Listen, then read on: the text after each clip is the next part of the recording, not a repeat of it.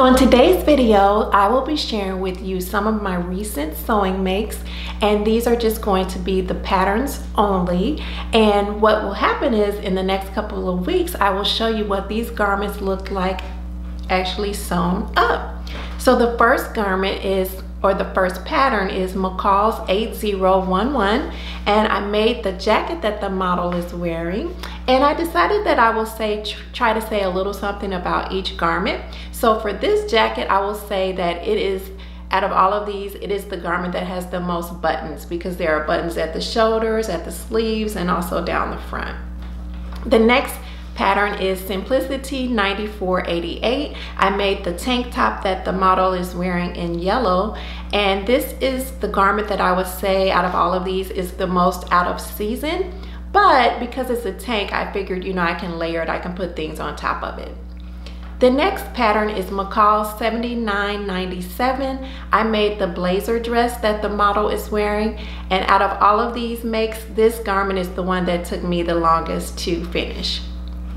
The next one is McCall's 7967. I made the long knit dress and it has gathers at the sleeve cap. And out of all of these, I would say this was my easiest sewing make. Next is Simplicity 8175. I made the culottes, the little pants there. And this is the one pattern out of all of these that I was like, eh, the out of the outcome I wasn't like so so happy with it and that's just because they fit a little too big on me so if I ever make them again I will have to make some adjustments on the fit.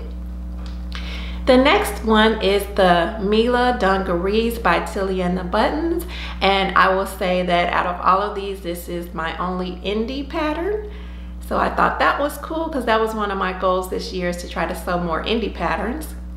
The next one is Burda 6249. I made the long garment there that is shown in multicolors. I think it's black, red, and a cream color.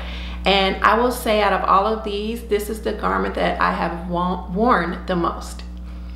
The last pattern is McCall's 9529. This is a vintage pattern and I made the sweatshirt that is shown there in white.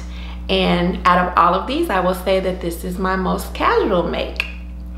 So yes, like I said, these are all patterns and makes that you will see coming up in the next coming weeks. And before I go, I want to leave you with a love share. So my love share is that individuals who leave the military because of a dishonorable discharge, they are ineligible for all VA benefits and in many cases they lose the right to vote. So that was something I learned recently. I wanted to share it with you. Thank you all so very much for watching and I hope that you look forward to seeing these makes. If you enjoyed this video, I would love to know. You can click on the little thumb that's sticking up below.